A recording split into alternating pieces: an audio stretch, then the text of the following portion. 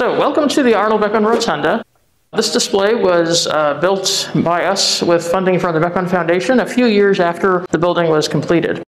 So, first, let me tell you a bit about Dr. Arnold Beckman himself. Um, he was born in the small town of Cullom, Illinois in the year 1900. His father was a blacksmith, and he got interested in chemistry from finding some books in his dad's attic.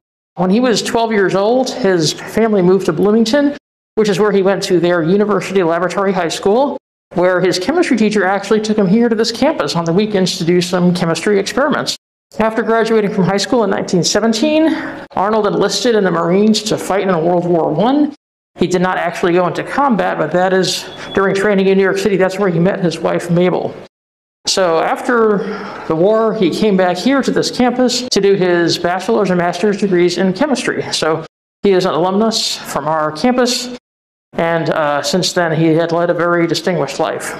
He founded a couple of different companies, which eventually became Beckman Instruments. So over here on this part of the display, we uh, have some examples of his innovations in chemical instrumentation. That's a Helipot here, which is uh, used in airplanes for navigation. We have the one of the first versions of the pH meter measuring the acidity or alkalinity of materials. Beckman Instruments was also famous for its DU spectrophotometer, its ultracentrifuges, oxygen analyzer, and today Beckman Instruments still exists as Beckman Coulter. So, in the 1970s, Arnold and his wife Mabel established the Arnold and Mabel Beckman Foundation, and in the mid 1980s, they decided to use this foundation to make a number of major gifts to universities. In the mid 1980s, the Beckman Foundation made five major gifts to five different institutions, and we are the only one not in California. And our Beckman Institute is the physically largest of the Beckman Institutes, and we have the most diverse research portfolio. So this gift was made in 1985.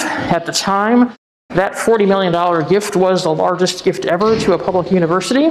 We also had a $10 million in additional gift money from the state of Illinois to build this building. This building is 313,000 square feet, and about 1,000 people work here every day across a variety of different research areas. And so that is how this Beckman Institute came into being.